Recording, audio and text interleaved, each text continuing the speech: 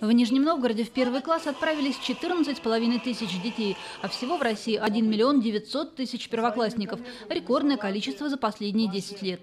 Трогательные первоклассники в маминых инстаграмах. Все только начинается. Бантики, глаза горят, яркие букеты и подписи. Моя первоклашка. Очень хочу, чтобы желание идти в школу оставалось на все 11 лет. Запустили наш воздушный шарик в небо и загадали желание учиться на отлично.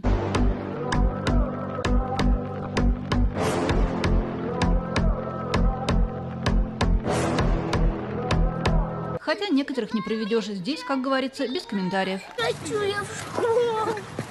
Что меня берешь? Хочу, я не умею. Почему не хочешь? Потому Почему? не умею писать. Пацан, не советую. Третий год, четвертый год учусь. А, Спасите! Помогите!